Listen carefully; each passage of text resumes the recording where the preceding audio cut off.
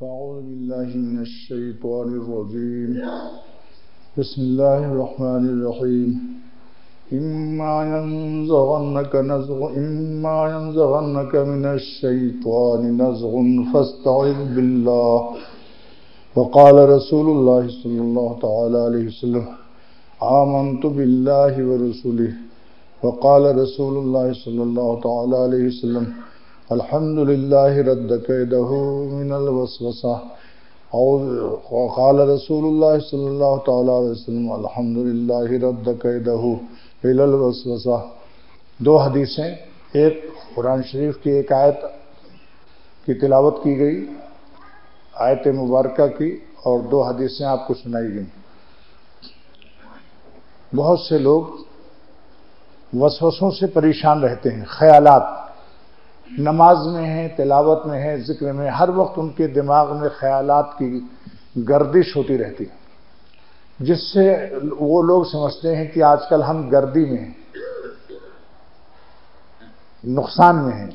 लेकिन वसवसों से अगर नुकसान होता तो हुजूर सल्लल्लाहु अलैहि वसल्लम अल्हम्दुलिल्लाह न फरमाते वसाविस पर आपका ये कह, फरमाना कि अल्हम्दुलिल्लाह, शुक्र है उस जात पाक का कि जिसने शैतान की ताकत को वसवसे तक महदूद कर दिया।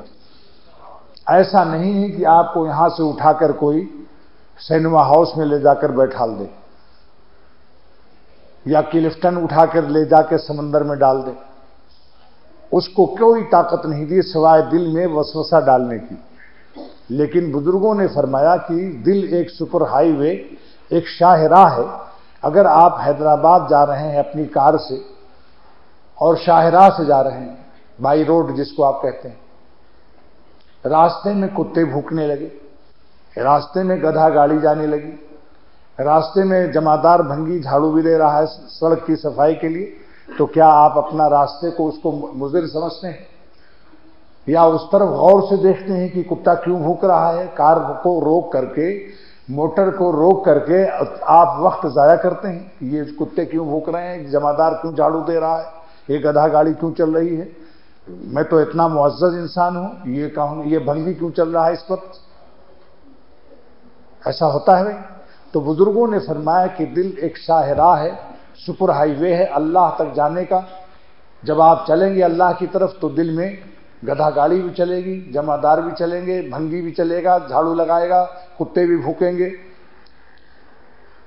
और कभी कभी सांप भी गुजर सकता है सड़क पर। मोटर चलाते चलाते जंगलों से जब आप गुजरेंगे। लेकिन वो बेवकूफ़ मुसाफिर है, जो इन चीज़ों में गौर करता है, अपना रास्ता खोटा करता है, खराब करता है, जाया करता है। सीधे दन बनाते चले जाओगे।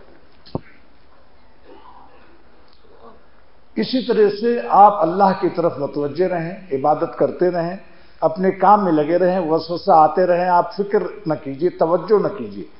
जब तवज्जो करेंगे तो फिर ये वसवसा मुजिर हो जाता है।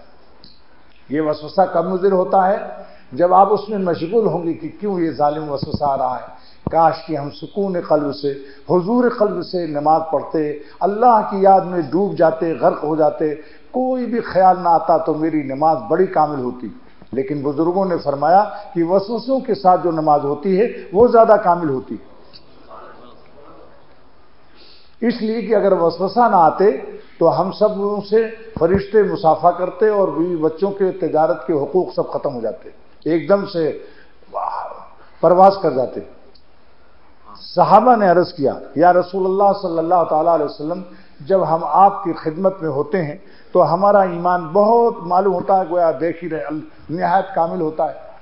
और जब हम अपने बाल बच्चों में जाते हैं और कारोबार में लगते हैं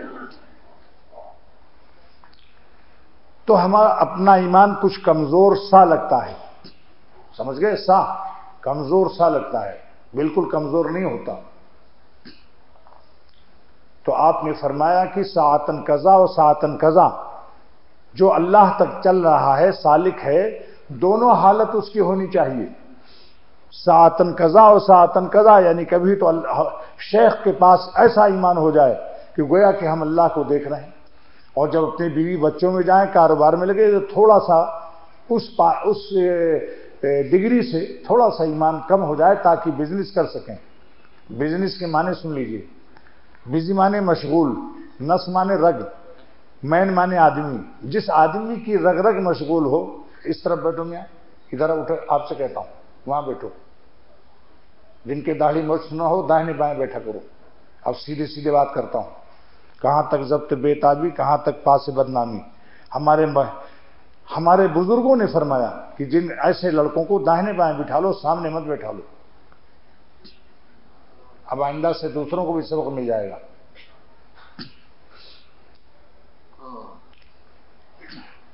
ये इन्हीं के साथ नहीं है, सबके साथ है।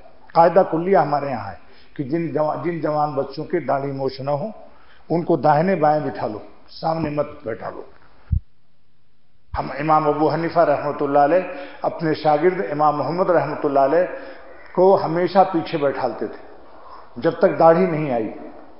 और आप हनफी हैं या नहीं बोलिए? इमाम अबू हनीफा को बुज़ुर्ग मानते हो? तो सोच लो उनके अमल की अख्तर ने इतबा की इमाम साहब का मैं मुखलद हूँ मैं हनफी हूँ मैं इमाम अबू हनीफा के हर अमल पर ए, कोशिश करूँगा। है? लिहाजा पीछे तो न सही तो दाहिने बाएँ से ही मकसद हासिल है। वो तो चूँकि दो ही तीन शागिर्द होते थे तो इसलिए इधर दूर तक बैठालना मुश्किल था। यहाँ तो माशाल्लाह मजमा लगा हुआ।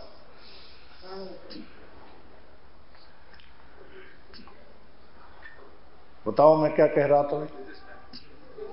बिजनेसमैन खैर, ये तो एक लतीफ़ा है।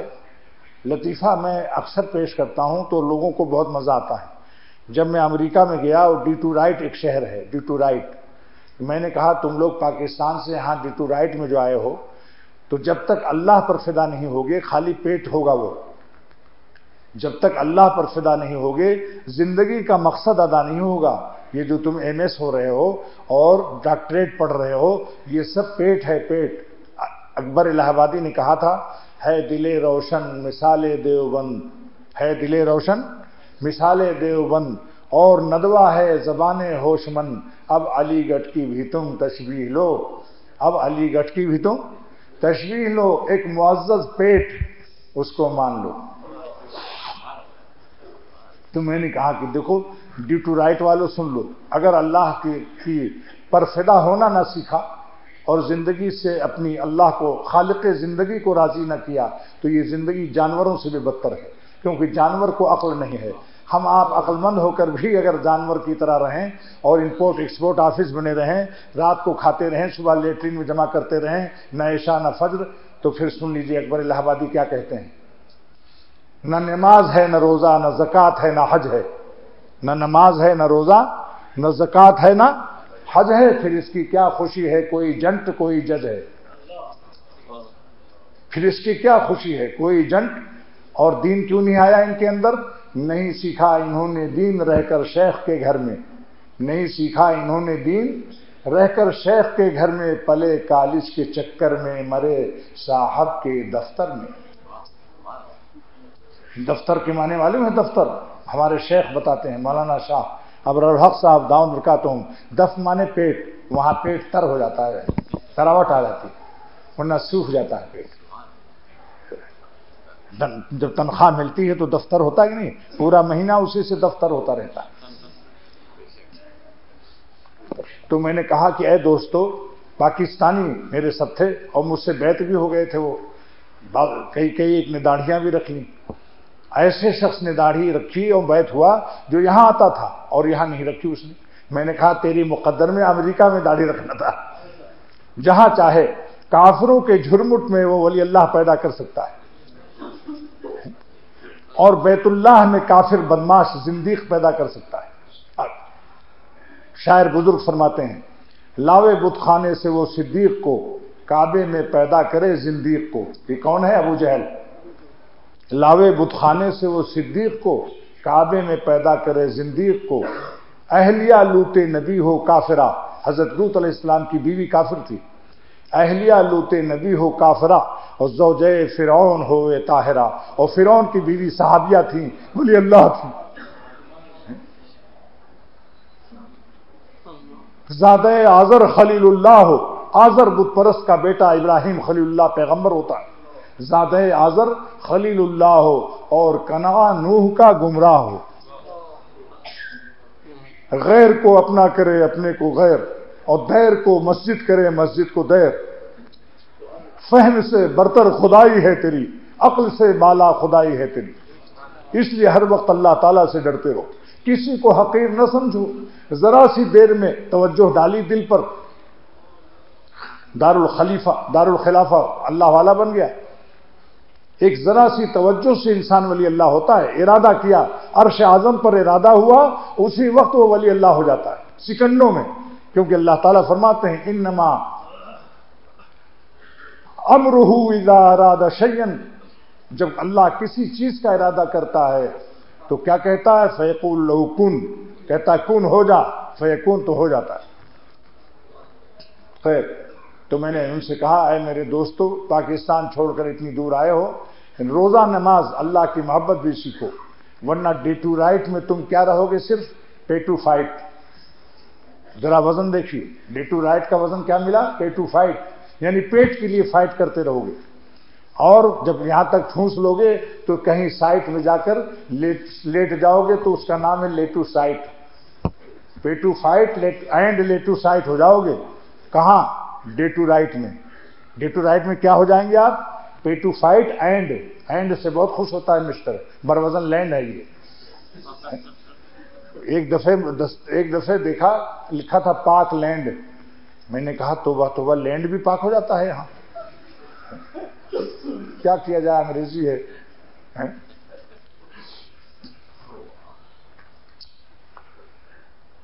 तो ये अर्ज़ कर रहा था कि दिल एक शाहराह है।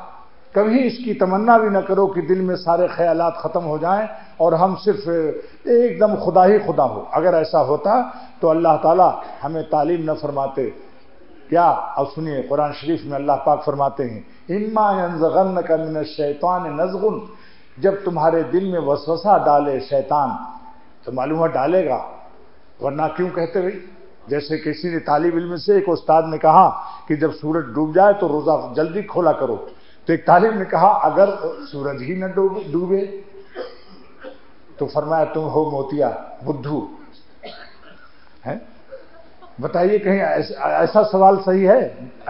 अहमकाना सवाल है कि नहीं बताओ? यानी वो कहते हैं साहब अगर सूरज न डूबे तो क्या होगा? ऐसे सवालात अहमकाना कहलाते हैं। लिहाजा अल्लाह ताला का इर्शाद मुबारक है कि अगर जब कभी तुम्हें शैतान वसवसा डाले, इम्मा यंजगन का मिन शैतान नजगुन, शैतान की तरफ़ से तुमको जब वसवसा पहुँचे, मेरी नाफरमानी का, मेरी नाफरमानी का फस्त बिल्लाह तो तुम शैतान से मत लड़ना, क्योंकि मेरा बड़ा कुत्ता है वो। देखो जब तुम बड़े, मौलाना मुल्ला अली कारी मुहदस अजीम, जो हेरात के रहने वाले थे, जिनकी कब्र मुबारक जन्नतुल माला मक्का शरीफ में उन्होंने ग्यारह जिल्दों में शरह लिखी है, मिरकात शरह में। मिशकात, मिरकात के नाम से लिखते हैं कि अय दोस्तों, अगर शैतान से लड़ने का हुक्म होता तो अल्लाह ताला हमें ये ना फरमाते कि तुम औज बिल्ला शैतान रजीम पढ़ो। फ़र्स्ट, औज बिल्ला ये कहो अल्लाह, मैं इस शैतान मरदूत के वसाविस से और इसके शर से पनाह तेरी लेता हूँ, तेरी पनाह लेता हूँ, तेरी मदद चाहता हूँ।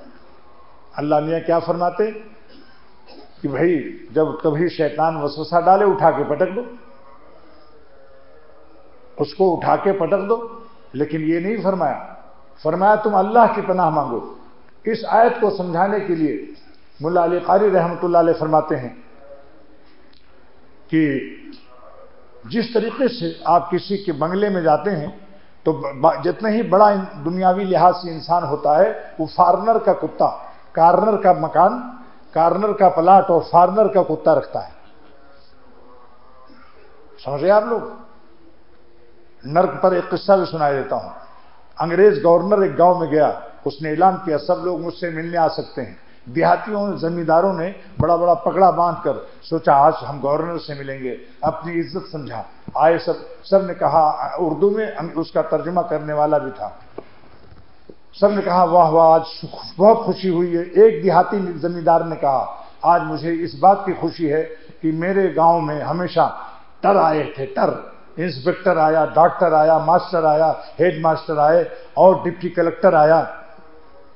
लेकिन आज पहली दफे ज़िंदगी में नर आया, गौर गवर्नर उसका तर्जुमा जब उसने किया तो हंस पड़ा हुआ अंग्रेज़ की, अजीब आदमी गवर्नर खैर तो ये अर्ज़ कर रहा था कि बंगले, बड़े लोग जो होते हैं दुनियावी लिहाज से, बड़े खौफनाक कुत्ते रखते हैं। उनका आवाज़ इतनी खौफनाक होती, चोरों और डाकुओं के लिए रखते हैं। तो उस वक्त क्या करना चाहिए? घंटी बजानी चाहिए। कुत्ते से लड़ता है इंसान या घंटी बजाता है? बताओ भाई। जो कुत्ते की तरफ़ मुँह करके हो हो करता है तो कुत्ता और भी हो अपनी बढ़ा देता है। लिहाजा कुत्ते से लड़ने वाला वक्त जाया करता है। ये तो कहो बाँध के रखता है। अगर खुला हो तो हो का इन, इन, इनाम मिल जाए उनको। पकड़ लेगा गर्दन से या नहीं? लेकिन चूँकि वो भी समझता है कि ये बंधा हुआ है कुछ नहीं करेगा तो उधर मुँह करके एक घंटे तक हो करता रहे। ये इंसान बेवकूफ़ है या नहीं? वक्त जाया हुआ कि नहीं भाई? घंटी बजाओ साहब निकलेंगे मालिक मकान। उनसे दरखास्त करो कि मैं आपके बंगले में आना चाहता हूँ। इस फॉरनर के कुत्ते को जरा आप खसूसी कोर्ट से खामोश कर दीजिए। अगर उसकी, उसके दोस्ती है, वो मिलना चाहता है तो फ़ौरन कहेगा उसको, अपने खसूसी तौर अल्फाज में, वो दुम हिलाता हुआ वापस चला जाएगा तो मुल्ला अली कारी मुहदस अजीम मिशका शरीफ इस तरह फरमाते हैं, शैतान भी अल्लाह ताला बहुत बड़े हैं। जितनी दुनिया में बड़े इंसान हैं, सब में बड़ा अल्लाह है। उसका कुत्ता भी सब कुत्तों से बड़ा है। कुत्तों से बड़ा है, समझ लो, इंसानों से नहीं। लिहाजा जब वो वसवसा डाले तो आप हर हरगिज उससे मसले, तवज्जो करो। ना उधर तवज्जो भगाने की करो, ना बुलाने की करो। ऐसे भी ना करो, आओ आओ आओ। ऐसे करोगे तो और भूकेगा शैतान के वसवसों को ना, न लाओ, न भगाओ। जैसे नंगा तार हकीम उम्मत थानवी। रहमत फरमाते हैं कि शैतान का वसवसा नंगे तार की तरह होता है। अगर नंगा तार बिजली का हो और आप उसको धक्का दे दें तो पकड़ लेगा या नहीं? और अगर पकड़ लें तो पकड़, तब भी धक्का दे, तब भी बिजली स्टार्ट कर, उसकी बिजली के असरात हो जाएँगे। और अगर धक्का देंगे तो भी तो जो शैतान के वसवसों को लाते हैं या भगाते हैं, दोनों मुजरिम हैं। दोनों खसारे में रहते हैं। दोनों को शैतान उल्लू बनाता रहता है और वक्त ज़ाय करता रहता है। लिहाजा जो इलाज अल्लाह ताला ने, जो शैतान का खालिक शैतान का पैदा करने वाला जो इलाज बता रहा है, वो इलाज करो। कि अल्लाह ताला की तरफ़ ध्यान करो और कहो अल्लाह, मुझे इस शैतान से और अपने को इस कुत्ते से हमारी खसूसी कोर्ट के ज़रिए से, खसूसी कोर्ट के ज़रिए से आप हमारी हिफाजत फरमाइए। औज़बिल्लाजी ए अल्लाह, मैं पनाह चाहता हूँ, इस शैतान से जो मरदूद है, गेट आउट है, दुनियावी दुनियावी दरबार के अंदर नहीं रहता शैतान, बाहर रहता है। जब कोई अल्लाह के दरबार में जाना चाहता है, तब वो भूखता है कि कोई दरबारी न बन जाए। ये अल्लाह ताला ने इसलिए रखा ताकि बंदे हमको याद करें। सीधे सीधे पहुँच जाते तो कैसे कहते पना चाहता हूँ। अरे खुदा, ये दुश्मन ये दुश्मन हमारी तरबियत के लिए दिए जाते हैं ताकि बंदा मुझे याद करे। जो बेटा नालायक होता है तो बाप खुद दुश्मनों को कहता है दो चार गुंडों को लगाओ इसको दो चार तमाचे चपत चपत मारो ताकि अब्बा अब्बा करके चिल्लाए। ऐसी जब इंसान गफलत में मुबतला हो जाता है तो कोई ना कोई मुसीबत आ जाती है। जो ऐसी चपत मारती है वो मुसीबत कि उनके गुनाहों के लज्जत, उनके नाक के रास्ते से निकल जाते हैं। ऐसा दर्द भरे आवाज़ से चिल्लाते हैं कि गधा भी शर्मा जाए अपनी आवाज़ से। ये तो अल्लाह ताला का कर्म है। उन्होंने मौका दिया हुआ है जिससे वो इंतकाम नहीं ले रहे हैं। दोस्तों, गुनाह के आदत करने वालों को चाहिए कि बहुत जल्दी जल्दी तौबा कर लें और अपने मालिक को खुश कर लें। तब इसके कि अल्लाह ताला हमसे इंतकाम ले। ए मुहब अफो अजमा अफकुन इंतकाम अजमा मकश अंदर जुनूब या करीम लफ सत्तार वजूब ए माफ़ी देने वाले बहुत करीम हैं आप मेरे आय पर छुपाने वाले इंतकाम अजमा मकश अंदर जुनूब गुनाहों से हमें इंतकाम न लीजिए अपने कर्म से तो ये अल्लाह ताला ने सिखाया लिहाजा शैतान की तरफ़ कभी तवज्जो न कीजिए क्या करें आप औज बिल्ला शैतान रजीब और अगर नमाज़ पढ़ रहे हो तो नमाज़ में ये नहीं कि अलहमद शरीफ याद याद पढ़ते पढ़ते औजबिल्ला शुरू कर दें। बस तवज्जो न कीजिए उधर। आप यही सोचिए, अल्लाह ताला मुझे देख रहा है, मैं दरबार में अल्लाह के हूँ, और शैतान बाहर से भूख रहा है, उसकी आवाज़ अंदर आ रही है। गेट आउट है, अंदर आ ही नहीं सकता। खुदा के दरबार में घुस नहीं सकता। ये शैतान गेट के बाहर, वहाँ से आवाज़ दे रहा जो हमको सुनाई दे रही है। लिहाजा उधर तवज्जो मत करो, अपने अल्लाह ताला से मशगूल रहो। इसकी अजीब मिसाल हाजी इमदादुल्ला साहब रहमतुल्लाह ने फरमाई कि आईना है आईना, जिसमें शक्ल देखते हैं। अगर मक्खी ऊपर बैठी हो तो अंदर नज़र आती है या नहीं बताओ? क्या मालूम होता है कि अंदर घुसी हुई है, हालाँकि ऊपर रहती है। अगर यकीन ना आए तो उसको हटा दो, फिर देखो, फिर रह तो ऐसी दिल के आईने के बाहर है वो। दिल के आईने के बाहर है शैतान। आप उसकी तरफ़ तवज्जो न करें, ना लाने की, ना भगाने की, पड़ा रहने दो। आप बताइए, जिस मेहमान की तरफ़ आप तवज्जो न करें, वो रहेगा फिर आपके यहाँ। अगर रोटी, पानी, चाय ना पूछें, कुछ न उधर देखें भी नहीं तो कहेगा, भाई, यहाँ तो कोई भी इज़्ज़त नहीं हमारी। तो आप शैतान के वसवसों की तरफ़ तवज्जो करके उसको इज़्ज़त अफजाई न कीजिए। अगर आपने उसकी इज़्ज़त अफजाई की तो फिर और ज़्यादा वसवसा डालेगा। वो समझेगा, यहाँ मेरी काफ़ी अवभगत है। लिहाजा तवज्जो मत करो। जब शैतान देखता है कि ये मालूम होता है, बुज़ुर्गों का तरबियत याफ्ता है, अल्लाह वालों की सोबत याफ्ता है, इसलिए हमारी तरफ़ तवज्जो नहीं कर रहा है तो फिर मायूस होकर नाउमीद होकर भाग जाए। ऐसे ही जब कभी खता हो जाए, मसलन बदनजरी हो गई, किसी औरत पर नज़र कसदन डाल दी, या अचानक पड़ी मगर एक आध सेकंड पढ़ा दिया, एक तो पढ़ना है, पढ़ना माफ़, पढ़ाना हराम। अचानक एक सेकंड के लिए कोई गाहक, औरत आई या रास्ते में नज़र पड़ गई, अचानक पढ़ना माफ़ है। लेकिन पढ़ा दिया अगर एक सेकंड भी, हराम लज्जत को दरामद और रिपोर्ट कर लिया, अब मुजरिम हो गए। तब अल्लाह ताला से तौबा करो। हमेशा गुनाहों की गीत मत गाते रहो, बल्कि गुनाह खता हो जाए, दो रकात तौबा, चार रकात तौबा पढ़िए, छह रकात पढ़िए, और अल्लाह ताला से दुआ कर लीजिए कि खुदा, मैंने जो हराम लज्जत आपको नाखुश करके मैंने जो हराम खुशी दरामद की है, ये लानती खुशी है। मेरी अबदियत और बंदगी की गैरत के खिलाफ है और शराफत के खिलाफ है कि हम आपको नाखुश करके हराम खुशियों से अपना जी खुश कर लें। समझ रहे हैं आप लोग? तो फिर शैतान और कुछ खैरात कर दें। एक बदनजरी पर दस बीस रुपया या तालिब इल्म है तो एक रुपया, मौलवी है तो कम तनख्वाह है एक दो रुपया, और सेठ लोग दस रुपये, सौ रुपये कुर्बान कर दो। नफली सदका दे दो। मगर मगर ये चौराहे पर मांगने वालों को मत दो, इनके बैंक अकाउंट होते हैं। उलमाए दीन से मशवरा कर लो कि कहाँ देना चाहिए। अपनी कोई ना मिले तो मस्जिद के मुअज्जिन को दे दो। अक्सर ये बेचारों तनख्वाहें कम होती हैं। इमाम साहब को दे दो। सद की नफला है सद सद सदक़ नाफिला, इमाम को भी दे सकते हो, मुअज्जिन को भी दे सकते तो हज़रत थानवी रहमत फरमाते हैं कि ऐसे शख्स से शैतान अपने तजारत को लाश में देखता है, खसारे। कि मैंने इससे एक बदनजरी कराई, एक औरत को मैंने इसको वसवसा डालकर दिखा दिया, लेकिन इसने क्या किया? मैं भी कैद लगा दूँगा। जिसके लिए जो इल्मिलाही में खैर हो, अल्लाह वही खैर। के आँसू नहीं निकले तो रोने वालों की शक्ल बनाकर, ये रोने वालों की सफ में दाखिल हो गया। जैसा कि हदीस शरीफ में है कि जिसको रोना ना आए तो रोने वालों की शक्ल बना लेगा तो रोने वालों ही की सफ में दाखिल कर दिया जाएगा। और जिसके आँसू निकल आएँगे, खता तो माफ़ करना होना हो ही जाएगी, लेकिन जहन्नम की आग भी हराम हो जाएगी जहाँ जहाँ ये आँसू लग जाएँगे। जहाँ जहाँ गुनहगार, खौफ खुदा के आँसू या मोहब्बत से निकल आए और उसको फैला भी लो तो वो वो जगह जहन्नम की आग वहाँ नहीं लगेगी। अब कोई कहे कि इतनी जगह तो अल्लाह ताला इतना हिस्सा तो जन्नत में दाखिल कर देंगे, बाकी धड़े का क्या हाल होगा? बाकी जिस्म का? तो हज़रत थानवी रहमत फरमाते हैं कि एक राजा का लड़का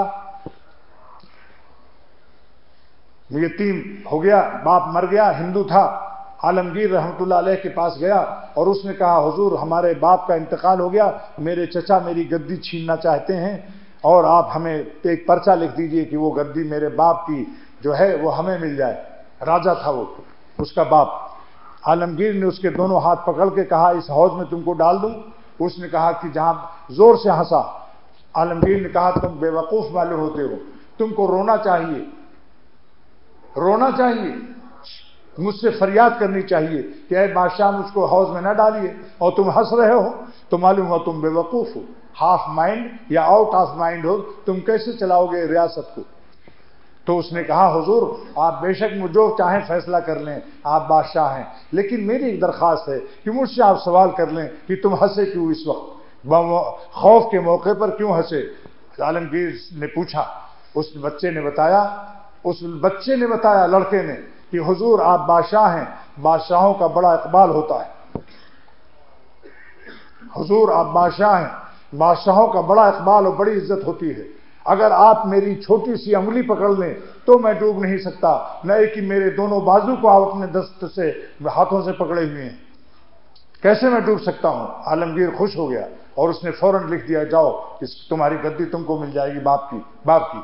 हसरत थानवी रहमत फरमाते हैं कि काफिर एक काफिर लड़का, एक मुसलमान बादशाह से इतनी उम्मीद रखता है। हम मुसलमान होकर अल्लाह ताला की रहमत से ये ना, ये हम बदगुमानी रखें कि इतना हिस्सा चेहरे का आंसुओं की बरकत से जन्नत में जाएगा बाकी अल्लाह जहन्नम में डाल देगा। अरे, जिसका इतना हिस्सा कबूल करेंगे, पूरा जिसम उठा लेंगे। असगर गोंडी रहमत का एक शेर याद आया। हम समझते थे मुझे उनकी तलब है असगर। हम समझते थे मुझे, उनकी तलब है असगर, क्या खबर थी, वही ले लेंगे, सरापा मुझको। मैं समझता था मुझे, उनकी तलब है असगर। मैं समझता था मुझे, उनकी तलब है असगर, क्या खबर थी, वही ले लेंगे, सरापा मुझको। बात सुनने वालों से गुजारिश करता हूँ कि चेहरे को मेरी तरफ़ कर लो, इधर बैठो। ऐसे बैठो कि चेहरा इधर हो जाए, वरना दूसरी चीज़ें नज़र आएँगी और फिर ख्यालात बढ़ जाएँगे आपको। किसी तरफ़ मत देखो जिद मुखर्र की तरफ़ देखो। इधर उधर मत देखो, वरना वरना ख्यालात बढ़ जाएँगे। और अगर मुखर्र की नज़र पड़ गई तो उसके दिल में भी सदमा होगा कि ये पता नहीं कहाँ देखता मैं तो उनको देख रहा हूँ और वो कहीं और देख रहे हैं।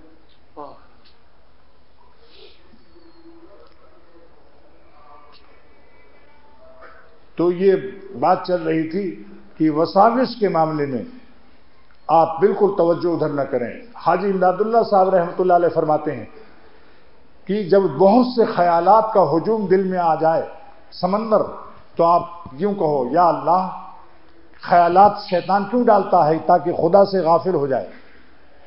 तुम यूँ कहो, ए अल्लाह, तेरी क्या शान है? तूने कैसा दिल छोटा सा इतना बड़ा बनाया जिसमें समंदर का समंदर ख्यालात का दाखिल हो रहा है? ये क्या आली जरफी दी है आपने हमारे दिल को? ये दिल का बर्तन कितना वसी रखा है कि इसमें दरिया है सिंध भी घुस रहा है, समंदर भी आ रहा है, जद्दे का समंदर भी आ रहा है, और तमाम दुनिया का जोग्राफिया घुसा जा रहा है। और सारी दुनिया की तारीख हमारी ज़िंदगी की आ रही कि तुमने सन 1944 में ये फाइट किया था। यानी पूरी तारीख जोग्राफिया पेश करता है, यानी हज़रत थानवी रहमत फरमाते हैं कि एक बुढ़िया थी, आलू बेचती थी, सब्ज़ी। सिर्फ़ मगरिब की नमाज़ पढ़ती थी और कोई नमाज़ नहीं पढ़ती थी।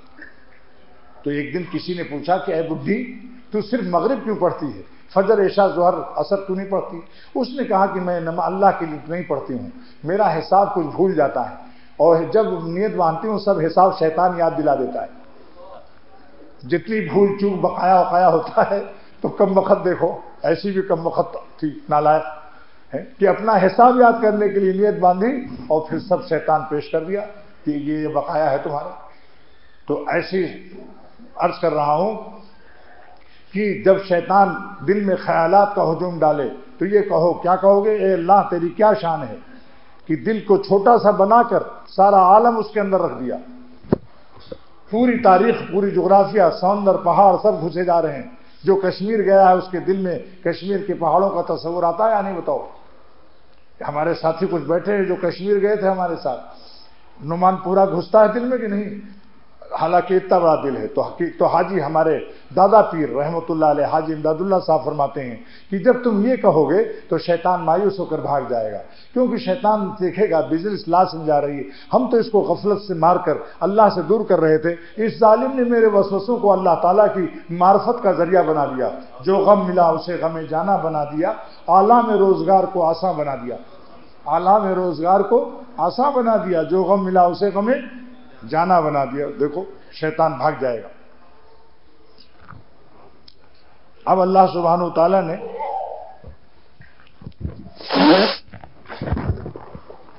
मालूम हुआ कि ये शैतान का वसवसा ज़रूर आएगा ज़रूर आएगा, क्योंकि अल्लाह ताला ये न फरमाते कि तुम मुझसे पनाह मांगो जब शैतान का वसवसा आए। तो मालूम आएगा, मगर हम अल्लाह से रुजू हो जाएँ। अल्लाह की तरफ़ ध्यान रखें और ध्यान रखने में ज़्यादा काविश न करें। हल्का सा ख्याल अल्लाह की तरफ़ रखें, वरना दिमाग भी कमज़ोर हो जाएगा। हर दफ़ा ज़्यादा दिमाग को भेचोगे, चटनी बनाओगे तो बुजुर्गान दिन फरमाते हैं, फिर दिमाग में जोफ कमज़ोरी। हल्का ख्याल अल्लाह ताला की तरफ़ रखो, बस। और ये उस वक्त तक वसाविस आ रहे हैं ज़्यादा, जब तक आप दरबार के अंदर दाखिल नहीं हुए। अभी चूँकि दो लोग, हम सब लोग, जो लोग दरबार से बाहर हैं जब दरबार के अंदर अल्लाह के वली बन जाएँगे मुकर्रम हो जाएँगे इंशाला तो वसाविस बहुत कम हो जाते हैं। क्योंकि दरबार के अंदर फिर नहीं जाता वो। मगर बाहर से भूखता है। बाहर से। तो समझ लो हम सब अल्लाह ताला के दरबार में है, कुत्ता बाहर भूख रहा है, जिसकी आवाज़ आ रही। उधर तवज्जो मत करो। आप बताइए, आप बादशाह से मुलाकात कर रहे हैं और अपनी फैक्ट्री का वहाँ परमिट मिल ले रहे हैं। और कुत्ता भूख रहा है बादशाह का तो आप कुत्ते की तरफ़ वो करते हो या बादशाह के दस्तखत और उसकी इनायत की तरफ़ मुतवजे रहते हो? तो हक ताला की रहमत की तरफ़ मुतवजे रहो कि हम अल्लाह के हजूर में हाथ बांधे शुक्र है उसका, जिसने हमें अपने दरबार में बुलाया। अगर अल्लाह को मेरी नमाज़ पहले कबूल न होती तो हर दूसरी नमाज़ की तोफीक न होती। जिसने फजर पढ़ी और उसको जुमा जिसने असर पढ़ी और मगरिब की तोफीक हो गई तो असर की कबूल हो गई। वरना खुदा तला मगरिब की तोफीक ही ना देता। जिसने पहला कलमा कहा ला इलाहा फिर कहा ला इलाहा तो पहला कबूल होता है, तब दूसरे की तोफीक होती वरना अगर अल्लाह को नापसंद हो और हम मकरू हो अल्लाह के यहाँ तो तोफीक ही ना हो। आप बताओ, आपको किसी का आना नापसंद हो तो गेट खोलेंगे आप? आप कहते हैं कि साहब मशगूल है, I am very very busy. बोलिए जनाब, अंग्रेज़ी दानों, जरा देखो इधर मेरी तरफ़, है? तो जब जब दरवाज़ा खोलते हैं उसको सुन के तो मालूम आपको पसंदीदा है। एक नमाज़ के बाद दूसरी नमाज़ की तोफीक हो जाए तो अल्लाह का पसंदीदा है। मकबूल है जब तो दूसरी बार दरबार में घुसने की इजाज़त मिल गई। बल्कि हाजिरी का शर्फ नसीब हो गया। अब सरवर आलम सल्लल्लाहु अलैहि वसल्लम ने इस आयत की तफसीर में कुछ शरह फरमाई। नंबर एक, दो हदीसें पढ़ी थी कि जब वसवसा आए तो तुम एक जुमला पढ़ लिया करो जैसे मच्छर खटमल के लिए आजकल कंपनियों ने डीडीटी बनाई है। डीडीटी छिड़कते हो तो कीड़े मकोड़े मर जाते हैं कि नहीं? तो शैतानी कीड़े मकोड़ों के लिए सरवर आलम सल्लल्लाहु अलैहि वसल्लम ने अपनी कंपनी से बारगाह रिसालत की कंपनी से एक डीडीटी अता फरमाया कि तुम ये पढ़ दिया करो जब वसवसा आए कि इस औरत को देख लो या ये गुनाह कर लो या वो गंदे गंदे वसवसे तो क्या कर, ये कह लो आमन तो बिल्ला ही व रसूल ही पढ़िए। आमन तो बिल्ला ही व रसुल ही आमन तो बिल्ला ही व रसुल। रसुल कहना रसुल। रसूल नहीं, रसूल की जमा, रसूल जमा है रसूल की। क्या तर्जुमा है कि मैं ईमान लाया अल्लाह पर उसके रसूलों पर? तो सारे नबियों ने चूँकि गुनाह को मना किया है, लिहाजा इसके पढ़ते ही एक बिजली आएगी आपके दिल में। कि अल्लाह अकबर, जिस पर मैं ईमान लाया, उस अल्लाह ने इसको मना किया। इन आप देखेंगे, जैसे कोई घोड़े को फेर देता है, ऐसे आपका नफ्स जो है, अल्लाह ताला की तरफ़ फिर जाएगा। और इसका तर्जमा हिंदुस्तान में जगह जगह बंबई, हैदराबाद, दक्षिण जहाँ जहाँ मेरा बयान हुआ सबने दोबारा जब मैं गया तो सबने कहा, साहब, अब रोडों पर, जब सड़कों पर चलता हूँ, औरतों का कोई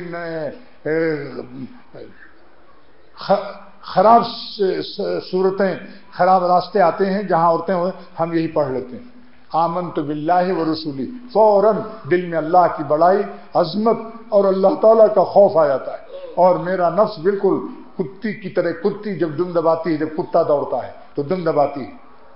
इस तरह से अल्लाह मर्दान खुदा, जो अल्लाह वाले हैं, अल्लाह उनको अपने रास्ते का मर्द बना देते हैं। फिर नफ्स की कुत्ती दुम दबा के भाग जाती है।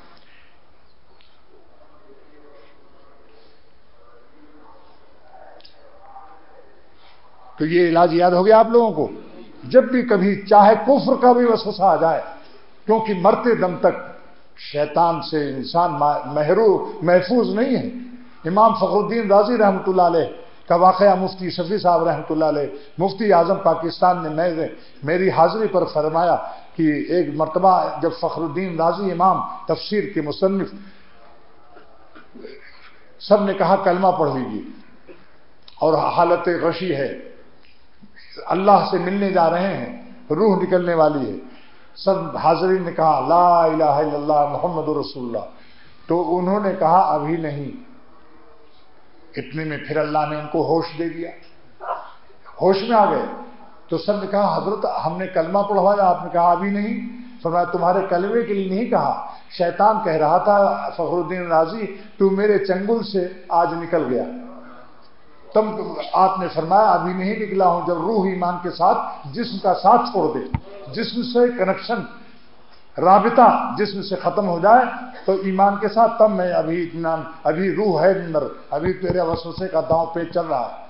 इसलिए फरमाया, अभी नहीं, अभी मैं अल्लाह की रहमत से फरियाद कर रहा हूँ कि खात्मा ईमान पर नसीब फरमा लिहाजा चाहे कुफर का वसवसा है कभी कभी शैतान ये भी कहता है, पता नहीं खबर में कुछ है या नहीं। ये आसमान, ज़मीन सब मैग्नेट से चल रहे हैं। तो इसका इलाज वही याद कर लिया करो कि एक वली अल्लाह से एक जालिम मिस्टर और बिल्कुल मुलहिद मुनकर खुदा ने कहा, अरे मौलाना, क्या अल्लाह अल्लाह कर रहे हो? अल्लाह मियाँ तो मिगिनट से चल रहा है, सारा निज़ाम अल्लाह है कहाँ? फरमा अल्लाह वही है जो सारे आलम को चला रहा है। तो कहा, आलम को अल्लाह नहीं चला रहा है मिगिनट चला रहा है। एक लाठी उसको मारी। तो कहा, ये क्यों मारा? क्यों लाठी चलाई? कहा, लाठी मैंने कहाँ चलाई? मिगिनट से चल रहा है। सारा आलम मैग्नेट से चल रहा है, ये लाठी आलम का जुज है। जब कुल मैग्नेट से चल रहा है तो जुज भी मैग्नेट से चल रहा है। तब उसने कहा कि वाह मौलाना, आपने वो दलील लठ दी, कि होश उड़ गए, लाओ कलमा पढ़ते हैं। तो दलील लठ याद कर लिया करो, कि एक लाठी नहीं चल सकती तो सारा आलम कैसे चल सकता है मैग्नेट से? आप बताओ, एक तमाचा कोई आपको मरे, मारे। और फैट उसका हो मज़बूत। और जिसको मारा जा रहा है, वो फैट मैन भी हो, और उसकी फाइटिंग ज़बरदस्त हो। तो उस वक्त कहेगा सब मिगनट से या उसको मुकाबला करेगा। सारा आलम अल्लाह चला रहा है। मिगनट का खालिक अल्लाह है। अगर मिगनट भी है तो खालिक मकनातीस खुदा है। वरना इतना नाप तोल करके दुनिया ये साइंस कैसे मिगनट पैदा कर सकती है? कि समंदर और दुनिया, देखो, गोल है। ये समंदर भी गोल है। जरा पानी गोल करके दिखाओ, और नीचे कोई सपोर्टिंग कोई सुतून कोई पिलर नहीं है। समंदर को गोल कर देना और नीचे कतरा न गिरना और नीचे कोई ज़मीन या कोई उसका सुतून नहीं है। गोला ऐसी ज़मीन आसमान के, आसमानों में ज़मीन का गोला ऐसी पड़ा हुआ है। जहाज़ ऊपर से नीचे आ गए। इतना बड़ा पहाड़, कश्मीर के पहाड़, जद्दे के पहाड़ और समंदर ऐसी गोल पड़ा हुआ है। नीचे कोई सुतून नहीं। ये कैसे इतना मैग्नेट कौन पैदा करेगा? साइंसदान इतना कहता है कि समंदर में नमक ज़्यादा है। इसी वजह से उसका पानी खराब नहीं होता। इतना साइंस बता देगा, मगर नमक किसने पैदा किया? जहाँ से तुम चमक चुरा के लाते हो। समंदरी से नमक बनाते हैं साइंस वाले। अल्लाह के खजाने से चोरी करने वालों, जरा उस मालिक पर भी ईमान लाओ जिसने समंदर में नमक डाला है। तुम्हारे बाप दादाओं ने ये नमक नहीं पैदा किया। तो एक इलाज सुन लिया। इलाज नंबर दो। कि जब वसवसा आए तो घबराओ मत। यानी जब नमाज़ में हम न हो, ऐसे सड़कों पर चल रहे हैं तो क्या कहो? अल्हम्दुलिल्लाह, पढ़िए। रद्द कैदहू इलल वसवसा। शुक्र है उस अल्लाह का जिसने शैतान की ताकत को वसवसों तक महदूद कर दिया। अल्हम्दुलिल्लाह रद्द कैदहू। रद्दा? इसलिए मैं कहता हूँ, जब आया कीजिए तो डायरी साथ में हो, वरना डायरिया हो जाएगा जहालत का। डायरी हो, एक कलम हो। लिख लिया करो। अल्हम्दुलिल्लाह रद्द कैदहू इलल वसवसा अल्हम्दुलिल्लाह रद्द कैदहू इलल वसवसा क्या मतलब? शुक्र है उस अल्लाह का जिसने शैतान की ताकत सिर्फ़ वसवसा डालने की और हमारा कुछ नहीं कर सकता। और अगर तीनों कुल पढ़ लें आप सुबह शाम। कुल अल्लाह कुलाउदर बिलफलक कुलाउदर बिन्नास फजर के बाद आफ्टर फजर एंड आफ्टर मगरिब वाले मिस्टरों, अब टर लगा तो खुश हो गए ना देखो। आफ्टर फजर एंड आफ्टर मगरिब यानी फजर के बाद मगरिब के बाद। तो क्या होगा? आजकल की गोलियाँ, शैतान, डाकू, चोर, सबसे आप महफूज रहेंगे इंशाला खुदा तला की हिफाजत नसीब हो जाएगी और वसवसों से भी बचे रहेंगे। बस आज आज यही बयान करना था कि आज आज का आवाज़ क्या है? इलाजुल वसवसा। अब बताइए, कोई गम रहा? लाख वसवसे डालते रहो। हम तवज्जो ही नहीं करते। भूखते रहो। और इंशाल्लाह इसकी बरकत से खुद ही भाग जाएगा। लेकिन ना भागे तो आप फिर उसको ये भी ना सोचिए क्यों नहीं भाग रहा है। अगर इतना सोचा क्यों नहीं भाग रहा तो भी समझ लो फिर वो शैतान कामयाब हो गया। अगर किसी ने शैतान, कुत्ते के भूखने से ये सोचा कि कम वक्त अजीब कुत्ता है, भूखना बंद ही नहीं करता तो वो अपनी कामयाबी समझता है। जब बिल्कुल कुछ न तवज्जो करो, तब वो समझता है कि यहाँ मेरी दाल नहीं गलेगी। समझ गया चाहते हो अगर तो मेरी दाल उनकी महफिल में गल गई होती। कुत्ता भी यही कहता है कि जिसने उनके वसवसे को, कुत्तों के, शैतान के वसवसे में मसरूफ हो गया, तब शैतान खुश हो जाता है। और जब नहीं मसरूफ होता तो शैतान ये शेर पड़ता है। चाहते वो अगर तो मेरी दाल उनकी महफिल में गल गई होती। लेकिन आप शैतान की दाल गलने न दीजिए। उधर तवज्जो ही न कीजिए। बस दुआ कीजिए, अल्लाह ताला अमल की तोफीक अता कर मुसीबत हो। एक सामने लिखा मुझे अल्लाह ताला साहिब औलाद, अल्लाह इनको साहिब औलाद कर दे, और जो साहिब औलाद हैं, वो शुक्र भी अदा कर लें। कि हम लोग साहिब औलाद हैं। अच्छा दो दरखास्तें साहिब औलाद की आ गई। अल्लाह ताला जितने भी बे औलाद हैं, सबको साहिब औलाद कर दे मगर जिनकी शादियाँ हो गई हैं। बाज लोग भी शादी नहीं करते तो कैसे दुआ की जाए उनके लिए कि ये साहिब औलाद हो कर्जे से नजात दे दे एक साहब है, मोहम्मद अकील साहब। अल्लाह ताला इनको कर्जे से नजात दे, लेकिन जो मकरूज हो, उसको चाहिए या मुगनी पढ़ना। ग्यारह सौ ग्यारह दशे या मुगनी पढ़ ले, चौबीस घंटा में एक दफ़ा। अव्वल आखिर दरुद शरीफ पढ़ करके। मौलाना गंगोही रहमतुल्लाह ने बताया इंशाल्लाह गनी हो जाएगा। अल्लाह का नाम है या मुगनी, है गनी करने वाले। अल्लाह का नाम, या मुगनी, ग्यारह सौ ग्यारह दफ़ा।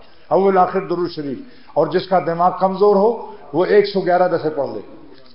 जिसका दिमाग कमज़ोर हो, चक्कर आ जाए इतना पढ़ने से, वो एक सौ ग्यारह दफे पढ़ ले। एक साहब का ऑपरेशन का मसला है, अल अब्दुल रशीद दरखास्त देने वाले हैं। अल्लाह इनकी अहलिया को अल्लाह ताला सेहत अता फरमाए। अल्लाह ताला हम सबको और हम सब के घर वालों को सलामती आज़ा सलामती ईमान के साथ ज़िंदगी अता फरमा और सलामती आज़ा सलामती ईमान के साथ दुनिया से अल्लाह उठा और हमें दीन पर कायम फरमा और अपनी वो मोहब्बत दे दे जो तू आए खुदा जो आप अपने अलिया को देते वो तकवा दे दे जो अलिया सिद्दीकीन को आप नसीब हमारी ज़िंदगी को अलिया अल्लाह की ज़िंदगी से तब्दील फरमा दे। वसल्ला खैर ये इस तब्दीली का नाम रिकंडीशन है। अंग्रेज़ी में, जैसे मोटर पुरानी सुरानी जाती है, जापान से रिकंडीशन होकर आती है। तो अल्लाह ताला को नए पुर्जे लगाने की ज़रूरत नहीं है। अल्लाह ताला रिकंडीशन नहीं करते इसलिए हमारे गुनहगार दिल को हुक्म दे देते हैं। खबरदार, वली अल्लाह बन जा। उसी वक्त वली अल्लाह बन जाता। अल्लाह को पुर्जों की मशीनरी के अज्जा की ज़रूरत नहीं। कुन से कुन? कुन हो जा। तू मेरा वली हो जाए इंसान। बस वली अल्लाह हो गया वो। सैकून है से ताकीब का है। उसी वक्त हो जाएगा वो।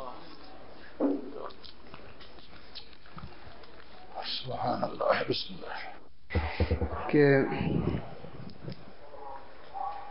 नज़र को न आज़ाद करना कभी, नज़र को न आज़ाद करना कभी, कि है ये नसीहत मेरे शेख की। नज़र को न आज़ाद करना कभी कि है ये नसीहत मेरे शेख की। ये माना अचानक नज़र है मुआफ। ये माना अचानक नज़र है मुआफ। अचानक में चैनक की चैनक नफी। न... माशाल्लाह। माशाल्लाह। वाह। नज़र को न आज़ाद करना कभी कि है ये नसीहत मेरे शेख की। कि ये माना अचानक नज़र है मुआफ, अचानक में चैनक की चैनक नफी। बद नजरी का तहैया करते हैं दो का सामान मुहैया करते हैं खतरे में ईमान को अपने रखते हैं, बीच भंवर में दीन की नैया करते हैं। हिमाकत ये आदमी की है, क्या हिमाकत ये आदमी की है कि नफ्स दुश्मन से दोस्ती की है। क्या हिमाकत ये आदमी की है? क्या हिमाकत ये आदमी की है कि नफ्स दुश्मन से दोस्ती की है? और इसमें मेरा कमाल ही क्या है? इसमें मेरा कमाल ही क्या है? मैं तो बंदा हूँ, बंदगी की है। इसमें मेरा कमाल ही क्या है? अरे भाई, कमाल साहब कहाँ बैठे हैं? अहले तकवा ने खाना ए दिल में। अहले तकवा ने खाना ए दिल में खून हसरत से रोशनी की है। अहले अहले तकवा ने, अहले तकवा ने खाना ए दिल में। अहले तकवा ने खाना ए दिल में खून हसरत से रोशनी की है। खून हसरत से रोशनी की है। और आप ही तो शकर के खालिक हैं। आप ही तो शकर के खालिक हैं। आपके बिन हयात फीकी है। आप ही तो शकर के खालिक हैं। आपके बिन हयात फीकी है। और देखें कि दाढ़ी रखने से क्यों मैं शर्माऊं? दाढ़ी रखने से क्यों मैं शर्माऊं? जब ये सुन्नत मेरे नबी की है। सल्लल्लाहु अलैहि भाई कुछ समझ आ रही बात? शाबाश। दाढ़ी रखने से दाढ़ी रखने से क्यों मैं शर्माऊं? जब ये सुन्नत मेरे नबी की है और चाँद चेहरों से फेर कर आँखें, चाँद चेहरों से फेर कर आँखें, चाँद चेहरों से फेर कर आँखें दिल के आँगन में चांदनी की है। वाह वाह, माशाल्लाह माशाल्लाह। जबर जबर, शाबाश, ज़बरदस्त शेर है। ज़बरदस्त शेर है, सुन लो। नोट कर लो दोस्तों, इसको याद कर लो। हर वक्त इसकी ज़रूरत है। इस शेर की हर वक्त ज़रूरत है।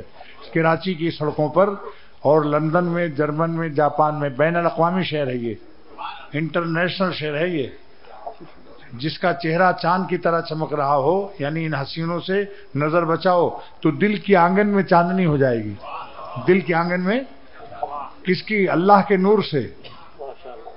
ये चाँद तो खत्म होने वाले हैं, कब्रों में जाने वाले हैं। अल्लाह जो खालिक है? तमाम दुनिया के चांदों का खालिक है, उसकी रोशनी से। फिर पढ़ो इस शेर को। दो दफे इस शेर को फिर पढ़ो। चाँद चेहरों से फेर कर आँखें, चाँद चेहरों से फेर कर आँखें, दिल के आँगन में चांदनी की है। चाँद चेहरों से फेर कर आँखें, दिल के आँगन में चांदनी की है। और मकता है के असर, तुझको गम मुबारक हो। ए असर, तुझको गम मुबारक हो। ये खुशी, खालिक खुशी की है। ए असर, तुझको गम मुबारक हो। ए असर, तुझको गम मुबारक हो। ये खुशी, खालिक खुशी की है। अहल तकवा ने खाना दिल में, खून हसरत से रोशनी की है। और चाँद चेहरों से फेर कर आँखें, दिल के आँगन में चांदनी की है। फिर से शुरू से पढ़ो इसको। तो अल्लाह ताला ने भी इसको फरमाया कि बहुत ही तुम्हारे लिए मुजिर है। और हजूर सल्लल्लाहु अलैहि फरमाया कि सबसे बड़ा दुश्मन तुम्हारा नफ्स है। लेकिन आज हम इसी दुश्मन से दोस्ती की हुई अच्छे अच्छे पढ़े बड़े बड़े ग्रेजुएट डिग्री लिए हुए तालीम याफ्ता और दीनी माहौल में रहते हुए भी इस जालिम की दुश्मनी से नजात न पा इस जालिम की दोस्ती से। हिमाकत है या नहीं बोलो? इस शेर की ये हकीकत जो बयान किया है, आज कितने लोग वो जो अपने को अकलमंद समझते हैं, वो बेवकूफ़ है या नहीं? अगर उनको कहा जाए कि आप बेवकूफ़ हैं तो बहुत बुरा मान जाएँगे। लेकिन नफ्स दुश्मन से उनकी दोस्ती है या नहीं? तो बजाय इसके कि हम हम आप किसी को कहें, एक दूसरे को, अपने को खुद कहो कि हम बेवकूफ़ हैं। कहो, जो जो जो नफ्स दुश्मन से दोस्ती कर रहा है सब लोग अपने अपने को हम सब बेवकूफ़ हैं। है? बैन अवी इंटरनेशनल डोंकी हैं। इंटरनेशनल डोंकी समझते हो भाई? अरे अंग्रेज़ी भूल गए? डोंकी माने गधा। अब सुनाओ फिर दोबारा। सियादीदा में पोशीदा जमाले हक की ताबानी। सियादीदा में पोशीदा जमाले हक की ताबानी। अल्लाह को देखा था मेराज में तो अल्लाह की तजल्ली आपकी काली पुतली में जज्ब है। जिसने आपकी आँखों को देख लिया, उसने अल्लाह को देख लिया। ये है इसका मतलब। अब समझ आया? शेर को समझने के लिए भी तो बुद्धि चाहिए और बुद्धिमान होना चाहिए। सियाह दीदा में पोशीदा जमाले हक की ताबानी। सियाह दीदा में पोशीदा जमाले हक की ताबानी। सहाबा के दिलों को जिसने बख्शा नूर रब्बानी। सहाबा के दिलों को जिसने बख्शा नूर रब्बानी। सुल्तान जहाँ थे, कल्ब में था फक्र पिन्हानी। वो सुल्तान जहाँ थे, कल्ब में था फक्र पिन्हानी मकाम अब्दियत के साथ थी उनकी जहाँ बानी मकाम अब्दियत के साथ थी उनकी जहाँ बानी कपड़ों में लगे हुए, पेट पर पत्थर हुए। मगर क्या शांति फख्र वो सुल्तान जहाँ थे, कल्ब में था फक्र पिन्हानी वो सुल्तान जहाँ थे, कल्ब में था फक्र पिन्हानी मकाम अब्दियत के साथ थी उनकी जहाँ बानी। खुदा दीदा नज़र को चूके देखा था सहाबा ने खुदा दीदा नज़र को चूके देखा था साहबा ने। अब वो ईमान कैसे पा सकेगा कोई रब्बानी? अब वो ईमान कैसे पा सकेगा कोई रब्बानी? तजल्ली गाह जो जहाँ थी उसी रूह मुनवर से तजल्ली गाह जो जाती उसी रूह मुनवर से। हर एक मोमिन को होती थी आता में राज रूहानी।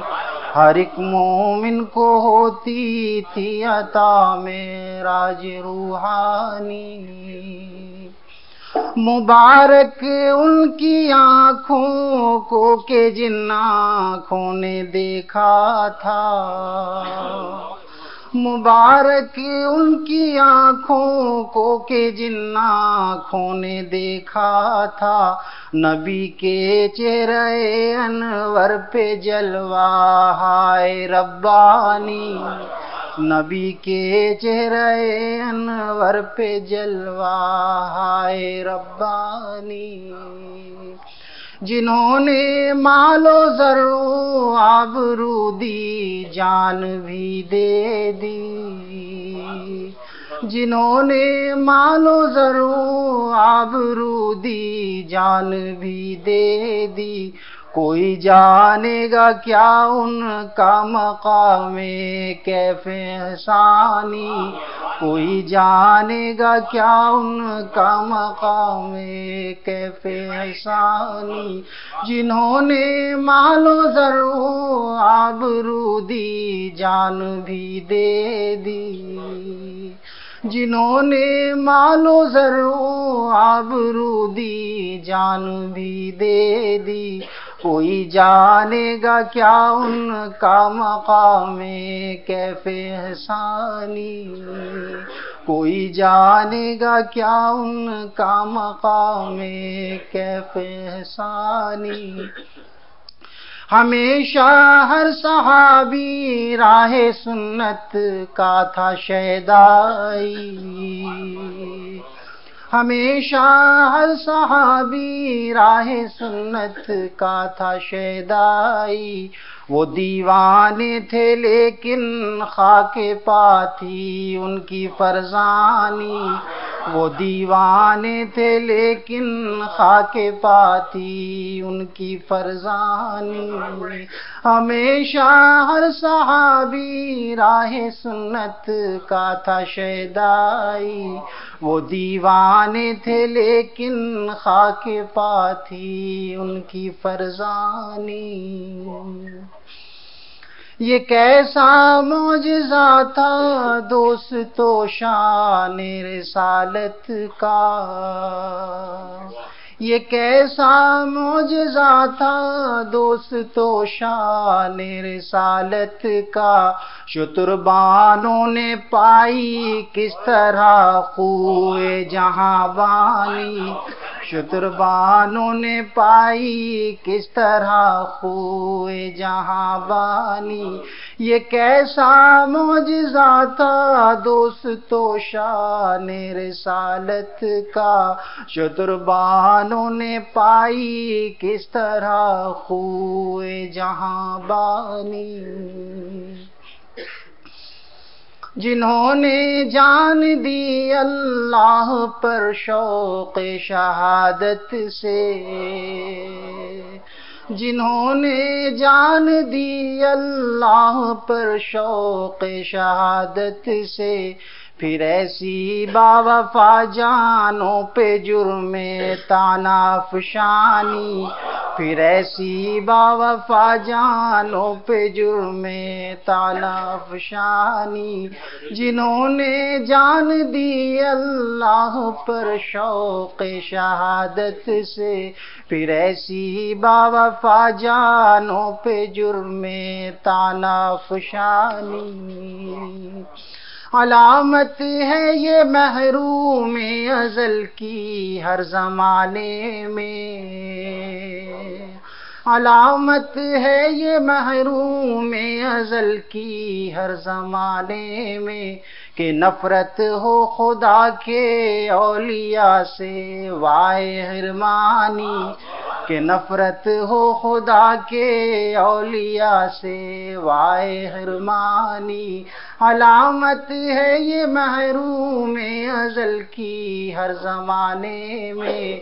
कि नफरत हो खुदा के औलिया से वाय हिरमानी। खुदा उनसे है राज़ी और वो रब से हुए राज़ी। खुदा उनसे है राज़ी और वो रब से हुए राज़ी। मगर कुछ लोग हैं नाराज़, उनसे वाय नादानी। मगर कुछ लोग हैं नाराज़, उनसे वाय नादानी। खुदा उनसे है राज़ी, और वो रब से हुए राज़ी। मगर कुछ लोग हैं नाराज़, उनसे वाय नादानी। सहाबा पर सुबह से या कलम से तबसरा करना। सहाबा पर जुबां से या कलम से तबसरा करना यकीनन ऐसे इंसान पर है कोई जिल शैतानी। यकीनन ऐसे इंसान पर है कोई जिल शैतानी। सहाबा पर जुबां से या कलम से तबसरा करना। यकीनन ऐसे इंसान पर है कोई दिल शैतानी। भला गैर सहाबी पा सकेगा मर्तबा उनका। भला गैर सहाबी पा सकेगा मर्तबा उनका, कि है मनसूस उन पर रहमत हक, फजल रहमानी, कि है मनसूस उन पर रहमत हक, फजल रहमानी। सहाबा की महब्बत को भी हम ईमा समझते हैं। सहाबा की मोहब्बत को भी हम ईमान समझते हैं कि उनके दम से उम्मत को मिली तालीम कुरानी, कि उनके दम से उम्मत को मिली तालीम कुरानी। सहाबा की मोहब्बत को भी हम ईमान समझते हैं कि उनके दम से उम्मत को मिली तालीम कुरानी। सहाबा की हयात बावफा तारीख ईमा है। सहाबा की हयात बावफा तारीख ईमा है। जो अख्तर दे रही है रात दिन पैगाम ईमानी, जो अख्तर दे रही है रात दिन पैगाम ईमानी, सहाबा की हयात बावफा तारीख ईमा है, जो अख्तर दे रही है रात दिन पैगाम ईमानी। हज़रत साहब कराम रज़ी अल्लाह तुम अजमैन के बारे में एक ही आयत काफ़ी है। रज़ी अल्लाह व रजवान। अल्लाह उनसे राज़ी हो गया और वो अल्लाह से राज़ी हो गए। अब कौन है नालायक जो नाराज़ हो?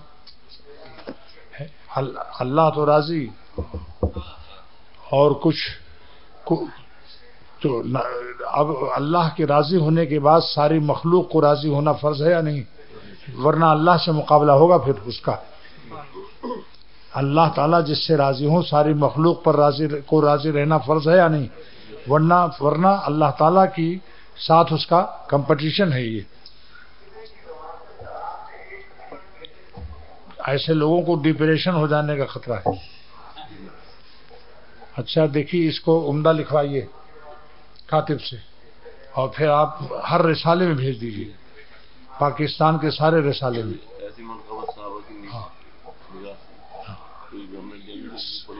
है? हाँ हज़रत साहबा की शान में जो मेरे अशार हैं शायद आपने ज़िंदगी में शायद न सुना हो। इन मजामी के साथ। और इस अल्फाज लगत की ताबानी के साथ। इसमें अल्फाज और लगत भी ताबानी आए हुए लिहाजा इसको उमदा लिखवाओ इसके फ़ोटो स्टेट करा के और इसको ऐसे भी छपवा देंगे। मेरे हमारे बाजे दोस्त हैं इसको छपवा भी देंगे। तोफ़ीक़ता फरमाए। अल्लाह ताला अपनी मोहब्बत नसीब फरमाए और हजूर अलैहि वसल्लम की मोहब्बत नसीब फरमाए। साहब कराम रज़ी अल्लाह तजमैन की मोहब्बत नसीब फरमाए। सारे दुनिया के अलिया अल्लाह की मोहब्बत नसीब फरमाए। और हम सबको अपना अपने अलिया सिद्दीकीन का ईमान व यकीन नसीब फरमा अपनी ख़ास हिफाजत नसीब फरमाए। इस शहर को, सारे ममलकत को अमन आफियत का शहर बनाए सारे आलम के मुसलमानों को या अल्लाह कलमे की बुनियाद पर रहम फरमा दे। अल्लाह, हम सब पर कलमे की बुनियाद पर रहम फरमा दे। और ये रहम भी अपने कर्म के सदक़े में बेदून इस्तेकाक नसीब फरमा दे।